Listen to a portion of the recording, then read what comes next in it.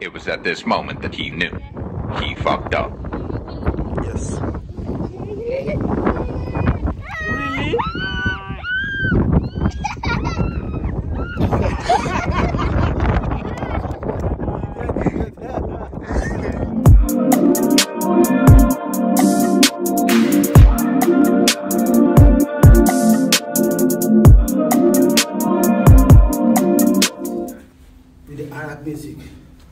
Okay, anything else? Any other dance moves?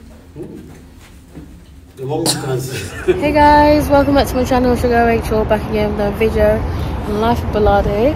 And today, um, I'm going to the desert safari. I'm going to basically explain it.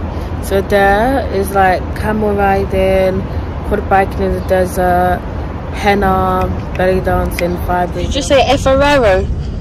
You talking to me? You're the most whitewashed Nigerian Me? I've ever seen in my life. said Jesus Christ, you said Riro. I said rerun. You said Efo Riro with rice. Look at your mouth.